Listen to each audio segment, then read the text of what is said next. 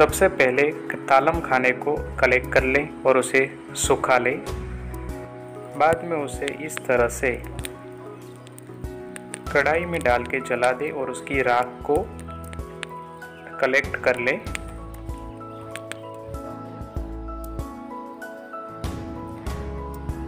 तालम खाने को सात आठ दिन तक धूप में सुखाना चाहिए क्लीन करके और अच्छी तरह सूख जाने के बाद इस तरह जला के उसकी इस तरह राख बनानी है। हमें 650 ग्राम राख मिली है। उसमें छः गुना पानी हम डालेंगे और पूरी रात उसे भिगो के रखेंगे। इस तरह अच्छी तरह मिक्स करके बिना हिलाए रखना है और सुबह में उसका ऊपर का पानी हमें ले लेना है और उसे अच्छी तरह 21 बार छानना है।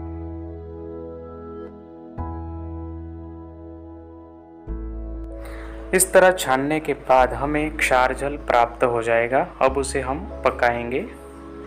जब पकते पकते पूरा पानी जल जाए, तब तक उसे पकाना है।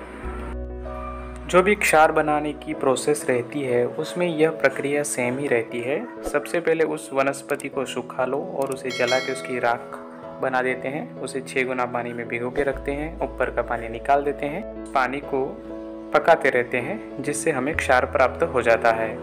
आप देख सकते हो, ये पानी गाढ़ा हो चुका है, अब उसमें क्षार दिख रहा है। इस तरह हमें क्षार पाक विधि से क्षार का पाक करना है।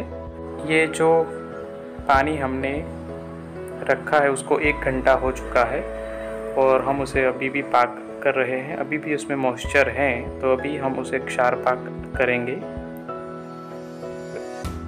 कड़छी से उसे बीच बीच में चलाते रहना है, नहीं तो क्षार दग्ध होने का खतरा रहता है।